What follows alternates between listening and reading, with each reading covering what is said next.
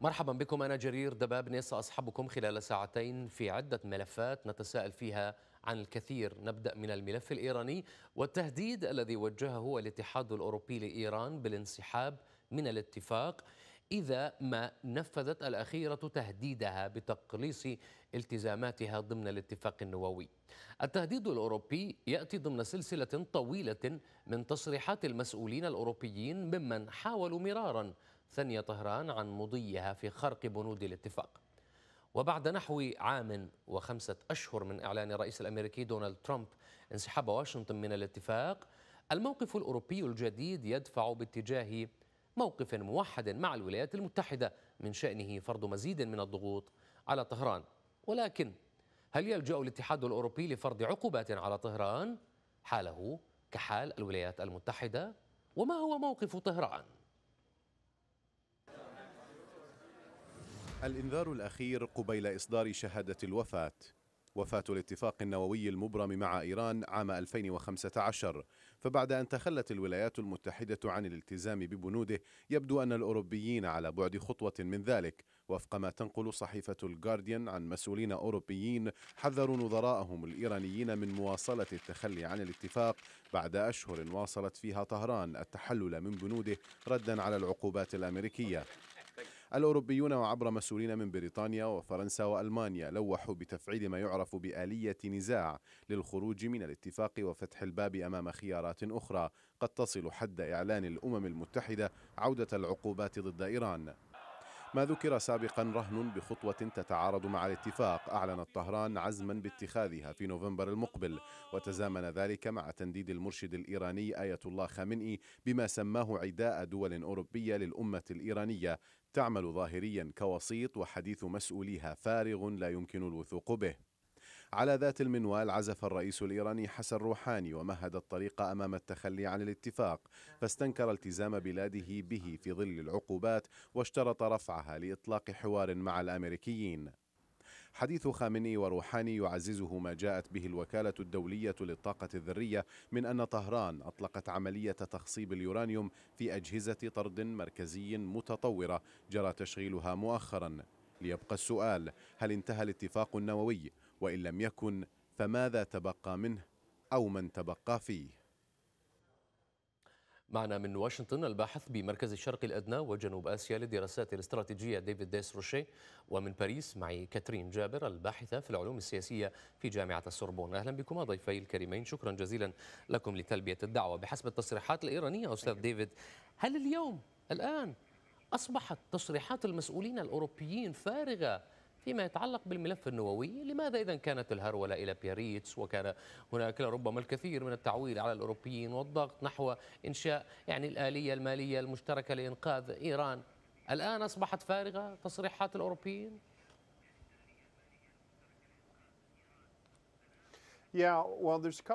نعم هناك أكثر من نقطة في هذا السؤال. أولا ما لا يقال مهم أيضا.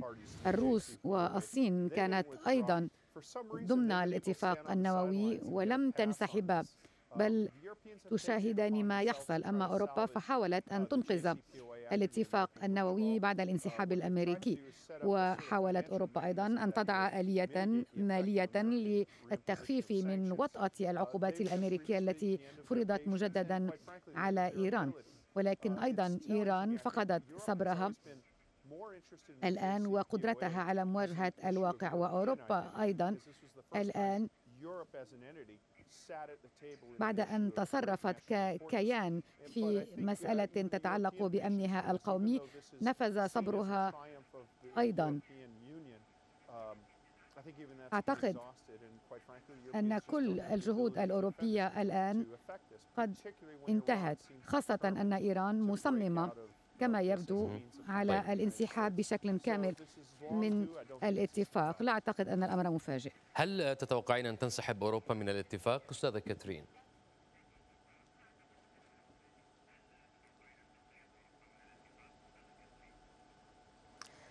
أهلا بك. يعني آه، هناك يعني تيقن يبدو لي أن هناك تيقن أوروبي بأن هذا الاتفاق النووي عمره ليس آه، طويلا أو آه، أنه في بصدد خبر كان. اولا أريد أن أبدأ بالتغير الذي بدأ في المبادرة الفرنسية قبل انعقاد الاجتماعات في الجمعية العامة بالأمم المتحدة. رأينا تصريحات الوزير الخارجية الفرنسي جون ييف لودريون والذي قال بأن الاستراتيجية للمبادرة الفرنسية قد تغيرت تماما بأنها لا تسعى الآن لعقد اجتماع ما بين الرئيسين وأنها اليوم هو هدفها الأساسي هو إنقاذ المنطقة من اندلاع أي حرب محتملة. هذا تصريح كان واضحا بأنه فيه فقدان بعض الأمل من الطرف الأوروبي. آه، لحلحلة الأمور أو لإنقاذ هذا الاتفاق النووي. أوروبا هي تدرك بأن هذا الاتفاق أصبح صعب إنقاذه بالطبع لماذا؟ منذ خروج لأنه فشلت لأنه فشلت المبادرة الفرنسية؟ وهذا أمر طرأ آه، هذا أمر جديد طرأ على الاتفاق. المبادرة الفرنسية هي خسرت أول شوط لها.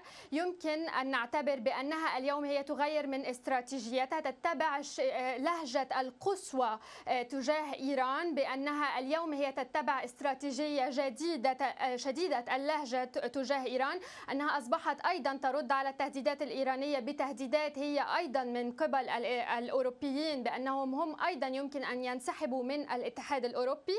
آه، يبدو لي أنه من المبكر بعد التوقع أن تفرض طيب. أوروبا آه، عقوبات اقتصادية على إيران في الوقت الحالي لأسباب عديدة. سنسأل عن ذلك سنسأل عن ذلك بعد قليل كاترين تفضلي بالبقاء معي.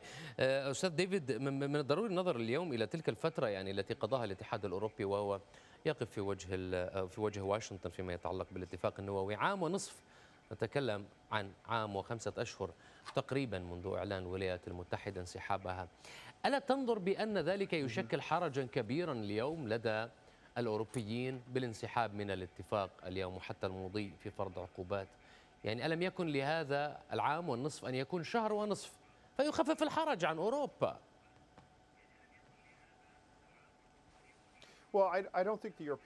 لا أعتقد أن الأوروبيين يشعرون بالحرج بل يعترفون بالوقائع على الأرض.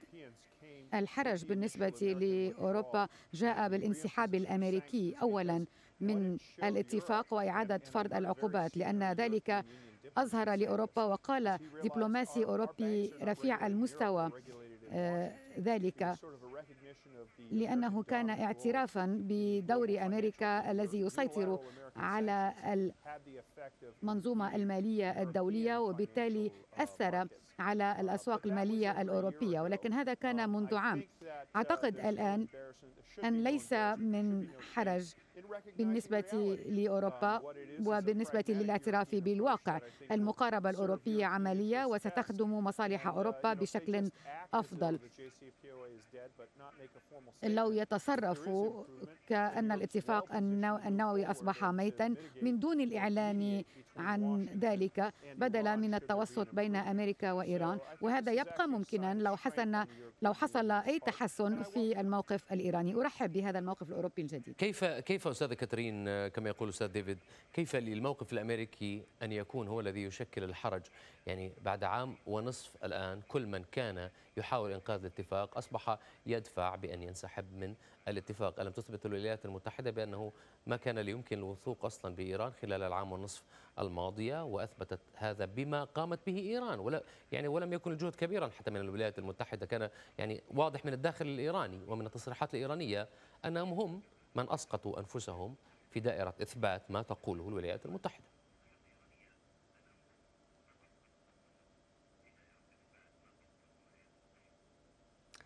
بالطبع. إن يعني آه، حتى نكون واقعيين فإن آه، هذا الوضع هو مسؤولية الطرفين. هو مسؤولية إيران بكل تأكيد ومسؤولية أيضا الولايات المتحدة. آه، أوروبا هي هناك يعني يمكن أن نعتبر أن هناك أربع نقاط هي تشكل قلق بالنسبة لأوروبا في الوضع الحالي. نقطتين منهم باتجاه الولايات المتحدة ونقطة باتجاه إيران ونقطة إقليمية.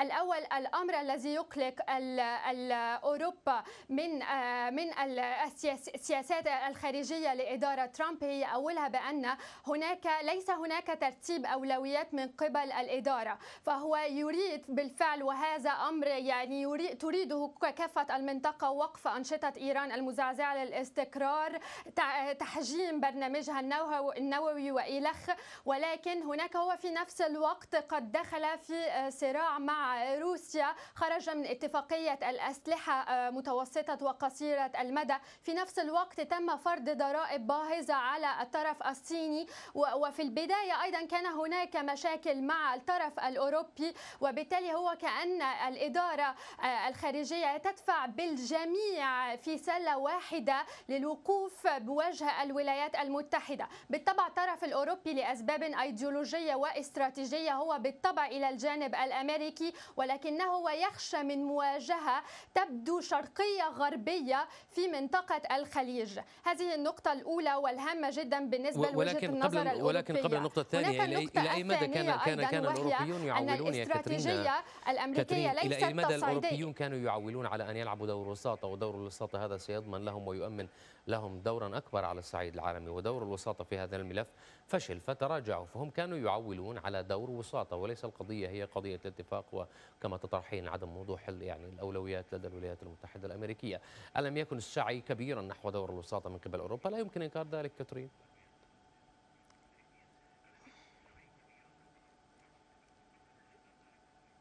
نعم الدور هو وسط بالفعل لسببين. أن أوروبا لديها مصلحة في هذا الاتفاق النووي مصالح اقتصادية. النقطة الثانية بأنها تريد أن يكون الدور الغربي كما هو لا يتم مواجهته أو سحبه لصالح مثلا روسيا والصين الذين يقويان من من إيران الآن. إيران هي تقاوم العقوبات الأمريكية الآن بسبب الصين التي تقف وراءها بشكل غير مباشر. روسيا الآن التي هي لا تعرف أي أين تذهب الأمور؟ وبالتالي هي لا تريد أن تخرج خاسرة هي تنتظر آه، الأوروبيين إلى أي مدى سيصلوا؟ بالطبع إيران هي المسؤولة الأولى عن عدم نجاح الوساطة بالنسبة لي لأن في الوقت الذي تراجع فيه الرئيس ترامب وفي بياريتس وأظهر انفتاحا للتحدث للإيرانيين أو لرفع بعض العقوبات مقابل أن تقوم إيران بتنازلات وتم إرسال وفد فرنسي أيضا بعدها إلى واشنطن في هذا الوقت جاءت التصريحات الإيرانية وقالت أنه لا تحدث مع الأمريكيين وأن وأن المرشد الأعلى هو يرى بأنها الشيطان الأكبر وأننا لا نريد التحدث معها هذه طيب. النقطة بالفعل هنا الموقف الأوروبي هو سأم العجرفة الإيرانية من جهة وسأم طيب. غياب طيب. الاستراتيجية الأمريكية طيب آه، إلى أي مدى اليوم نتحدث في نقطة العقوبات الآن أستاذ ديفيد إلى أي مدى بات أو باتت كلفة التلكؤ أو التلكك في مواجهة ما تقوم به إيران اليوم ذو كلفة باهظة وعالية الثمن بشكل كبير. وهذا يثبت لربما يعني من خلال ما نقرأ في الصحافة من لربما الانتحارية التي قامت بها إيران بمهاجمة أرامكو مؤخرا اليوم. هل سيكون هناك خطوة مقبلة من قبل الاتحاد الأوروبي بفرض عقوبات أو لربما يعني بشكل أو بآخر الوقوف إلى جانب الولايات المتحدة أكثر ضد إيران؟ في تحالف. نعم الهجوم الإيراني على منشآت أرامكو طبعا ضررت حجة إيران. الأوروبيون كما سبق وقلت كانوا متعلقين بالاتفاق النووي. أكثر مما يجدر أن يكونوا بالنظر إلى فوائد الاتفاق ولكن عندما سقط القناع لم يتمكن الأوروبيون أن يختبئوا وراءه. ونعرف أن المملكة المتحدة وفرنسا وألمانيا قالت إن إيران هي المسؤولة عن هذه الهجمات وأن ذلك لا يمكن أن يستمر وكان ذلك تقويضا قويا لمصالح إيران. أعتقد أن الإيرانيين قد قاموا بتصرف غير ملائم وأعتقد أنهم أيضا سيأسفون عن هذا التصرف. الاتفاق النووي كما نعرف لا يؤثر إلا على البرنامج النووي الإيراني ولكن هناك أيضا في برنامج إيران الخبيث الصواريخ الباليستية و احتجاز الرهائن والتصرف الخبيث الذي يزعزع استقرار المنطقة. الاتفاق النووي ركز فقط على الناحية النووية وبالتالي كأنه سمح لإيران أن تتصرف على المستويات الأخرى. الرئيس ترامب عرض ذلك ولكن تقديم الرئيس ترامب بالطبع غير واضح أو محدد. حتى إن كانت الفلسفة وراء هذا الموقف متماسكة. ولكن يبدو أن ترامب بتصرفه يعادي الكثير من حلفائنا وشركائنا. فحتى عندما يكون هناك تماسك لا يبدو ذلك على الأرض لأن هذا الشخص لا يحصل على رضاء الكثيرين. بالتالي أعتقد أن السياسة, السياسة الأمريكية جيدة. ويدعمها الكثيرون ولكن لا نتكلم عن نجاح لأن الرئيس ترامب غير محبوب إلى ما بعد الأطلسي. تمام. أود أن أشكركما ولربما في إشارة إلى كلامك. منذ بداية الكلام قلت بأن الولايات المتحدة هي كانت تشكل الحرج بالانسحاب والآن تقول هي جيدة بعد أن سقط القناع الإيراني. كنت أود أن أخذ إجابة ولكن الوقت للأسف لا يسعفنا. أود أن أشكركما من واشنطن الباحث بمركز الشرق الأدنى وجنوب آسيا للدراسات الاستراتيجية ديفيد ديسروشي شكرا لك. من باريس كاترين جابر الباحثة في العلوم السياسية في جامعة السوربون. شكرا لكم